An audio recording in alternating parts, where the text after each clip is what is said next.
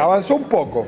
Tenemos media sanción en diputado de una ley que obliga a los jefes de las policías a sentarse semanalmente con los intendentes de las ciudades y a que los yo planteaba que deberíamos poder designarlos los jefes de policía. Bueno, no nos dejaron eso, pero sí esa media sanción nos da la atribución de evaluar el comportamiento, el desempeño de los jefes de las unidades regionales.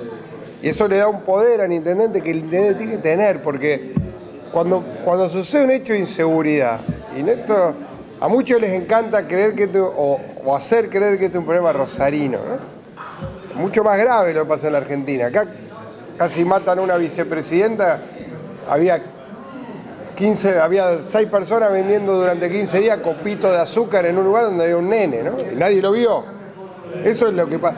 Nadie vio, nadie vio las tres toneladas de cocaína que estaban por salir del puerto de Rosario y que estaban en Rosario y que a nosotros nos cuentan sangre. Nadie lo vio.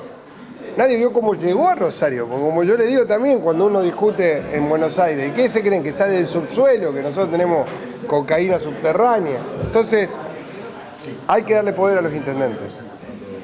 Y este es un primer pasito, una media sanción, que insisto, no es crear policías municipales, es que el intendente tenga poder sobre los jefes policiales.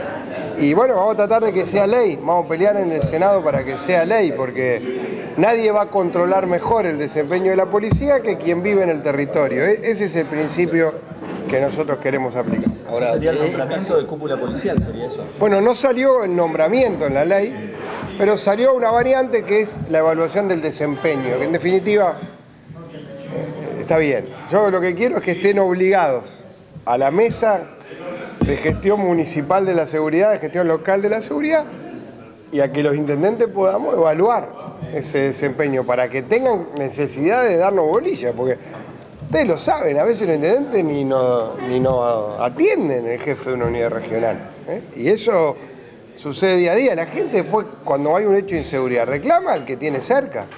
Y es la trampa en la que a veces nos ponen, ¿no? Ir a manifestarse en relación al reclamo hacia la persona que tiene cerquita en el territorio, pero las decisiones las toma uno que está lejos, en todo, miren, en los humedales, en la seguridad, en cómo se distribuyen los recursos. Hay que poner los recursos cerca donde la gente está. Eso hace que se cuiden mejor, que se inviertan mejor, que haya menos joda con los recursos y que sobre todo le demos más soluciones a las personas que necesitan del rol del Estado en esta situación. Ahora, intendente, con la misma línea de la respuesta anterior, hemos casi naturalizado que los capos narcos defienden su territorio desde las cárceles. Así es. Que cuesta creer, digamos, desde película de terror. Sí, pero es un... Es una realidad. Y la segunda parte, ¿cómo están de, fuerzas federales en su ciudad? Porque eh, manifestó hace pocos días que falta, en definitiva, como en tantos lugares. Nosotros tenemos una suerte de, de coworking en las cárceles. nosotros tenemos personas, y lo digo no como un comentario, ¿eh? Nosotros tenemos personas que han entrado, líderes de banda, a la cárcel como ladrones de auto y salen como capo narco.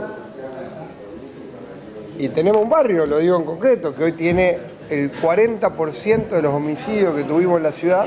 Ludueña. Ludueña, donde ahora estamos interviniendo, interviniendo urbanísticamente. Estuve el, jueves en el centro de salud, voy prácticamente todas las semanas a recorrer los centros de salud, los barrios.